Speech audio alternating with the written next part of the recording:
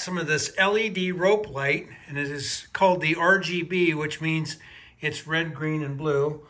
Has a color changing controller on it.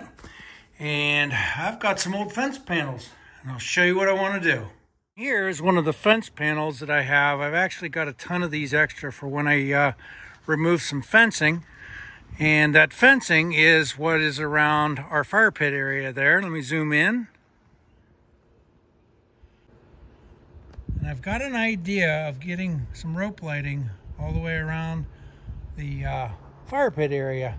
The key in doing this is going to be this old fence that I've got here. So I need to go over and pull 16 of these uh, panels that I have laying over there that I saved and I need to remove this top rail on the panel and it's held in by clips. I've already removed the clips on this one so it comes off pretty easy and this is the panel I need or the top rail.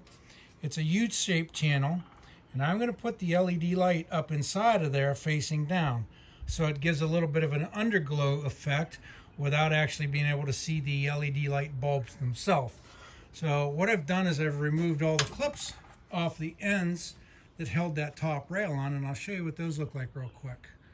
Here are all the clips just off of that one section of railing, and they, they hold this top rail on here at every point of the spindle or the rail that goes upright. And I just have to cut a very little bit of the tip off of one side. And now they, they re-snap in like as if they were hooked into the rail at that point. But what I'm going to do is put this rope lighting down in the channel like that and put these clips in here, snap them in, and that's what will hold the rope lighting in. And then what I'm going to do is I've got some holes drilled through these channels. They were originally drilled in and had just one hole that went into the post, but I've got to drill a second hole. And then I'm going to counterbore or countersink each hole and then put this in and screw it to the uh, railing spindle or the railing upright post, I should call, or should say. That's what will hold the rail on all the way around the uh, additional fencing. So I'm basically adding a, an additional rail. But uh, anyhow, I'm going to go ahead and attach that, and then that gives me a place to tuck the LED lighting. It does two things. It One, it holds it up. It keeps it out of the weather and also it allows me that we don't have LED lights around the pool area shining in people's eyes. It's just a direct underglow, if you will. And a true underglow is it just gives the light off. It doesn't, uh, or you don't actually see the, the LED lights themselves. So I'm going to go ahead and uh, scavenge up a bunch of these panels and start taking the top rails off drilling the holes and pulling the clips off of them and reusing those clips inside the rail to hold the lights in.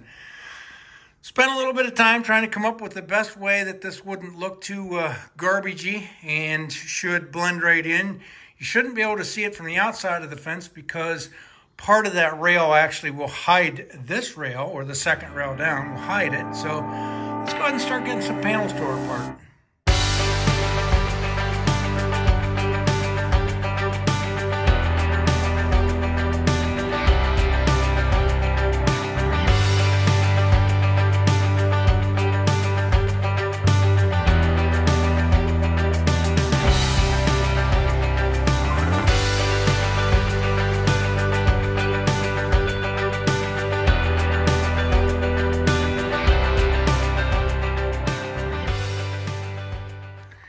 I grabbed 20 of these sections of uh, old railing I had.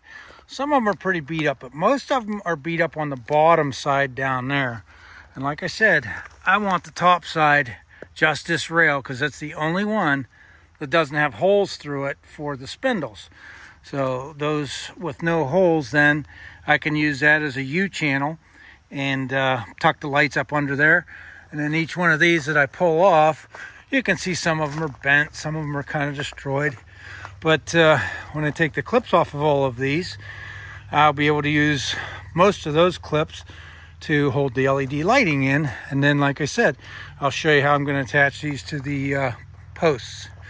So using my little Harbor Freight gooseneck trailer that I did a video on, we'll get these strapped on here and get it back over to the workshop.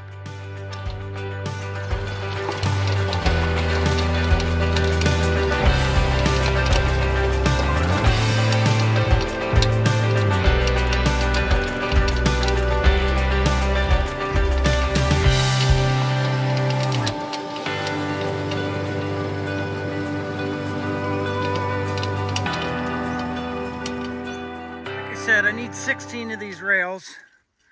And I only need the rail only. You can see I've taken it off of that one there. And what I'm doing, bring it in here to the workshop and put it in the vise with the good side up that I need. Clamp down. And then I've got to take and yank on this top rail to get it to slide out of all of those clips that are holding that thing on. So let me get the camera set up and show you what I got to do there.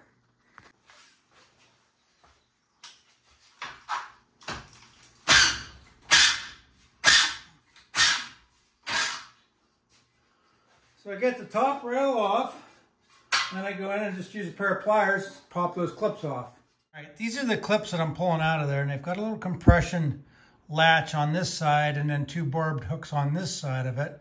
And they go into a rectangular hole. And uh, so I got to compress this clip and then pull it down and out away from that. And again, like I said, I take and I cut just a little bit of this piece off because you can see one side's a little bit longer. And if I leave it that long, it doesn't give me any room under the bottom side of it to hold the LED lights up in there. So was able to reuse 100% of this uh, old railing that was just laying over there for a project I knew someday I would use. So now I take my channel locks and I go in here and squeeze this latch and pull it out.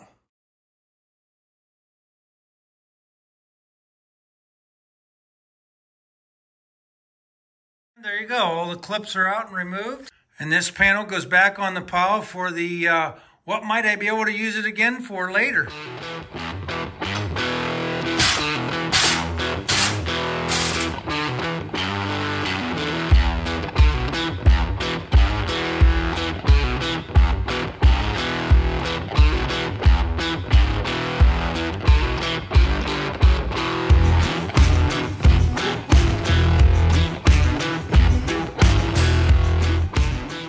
All the clips I needed to uh, clip in underneath those rails to hold the LED lights in. I've got all the uh, upper rails that I needed. I needed 16 of them out there, and uh, I actually did 18 in case one of them's bent or screwed up at the ends that I might have missed when I was uh, tearing them apart. But now I've got to go ahead and I'm going to clean these all off. I'll wash them up uh, because there is a lot of dirt and debris all over them from sitting over in the woods there in the pile get that all cleaned up, spray the rails out, spray the tracks out, and then uh, I got some holes that I have to drill into the sides of them because like I said earlier, I'm using these self-tapping screws and I got a countersink one side. These are the only self-tappers I got that were long enough. So I'm going to drill a hole on each side of this through there so these threads don't bite into this because if it does, it'll want to pull this out before it gets to drilling through the post. So I want to make sure there's clearance holes through these. Then the drill end on this self-tapper will only bite into the post itself, keep me from screwing anything up there. And uh, I guess then we can start putting them up and figuring out how we're going to fish this through it and then putting the clips in.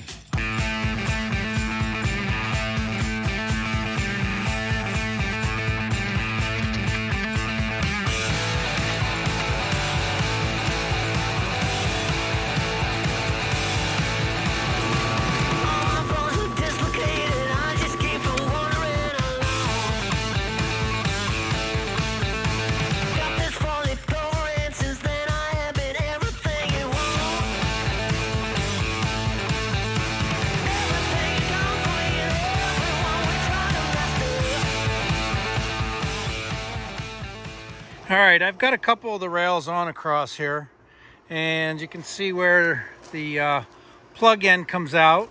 It'll come down to the plug there and those are tucked up underneath that rail into that U-channel so you cannot see the lights anywhere in there. And they come out here. Let's see if I can get a uh, shot up underneath. There's the LEDs up underneath. And now what I have to do is probably the hardest part and the most difficult about this is I've got to create an arch that comes up over and across and down because I want those lights to continue across. I don't have a way to plug another set in here and continue down. So I want it to be all one strand. I want this archway to be lit up as well and then go down and follow those channels under there. And I've got a couple more on just so I could get a reference of a dimension from here over to there where these actual rails stopped. So I've got those rails put on, made a fixture so each one was going to be put in the same position at the same height. And when you look at it down level ground, it's the same height minus one inch from that other one. So I'm gonna go ahead and see if I can't get this arch up here or get it figured out anyhow.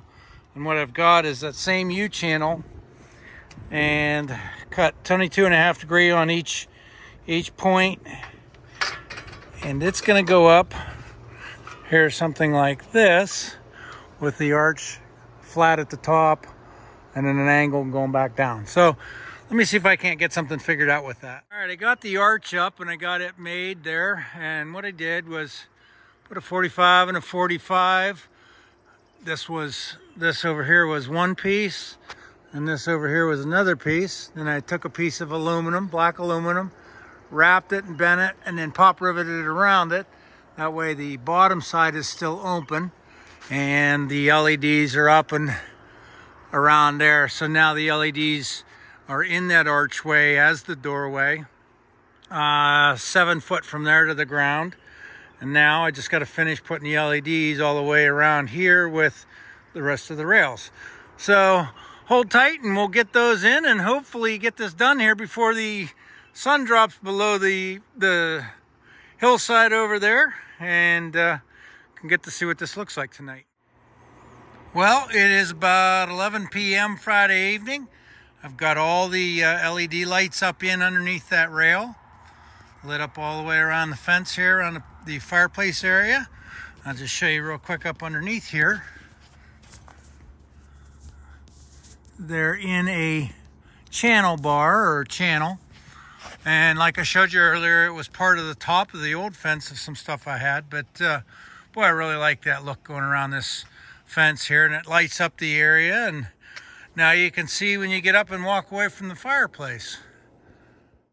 Oh, and I think Kitty approves of the lighting too. She came over to see what I was up to and maybe get a little bit of petting.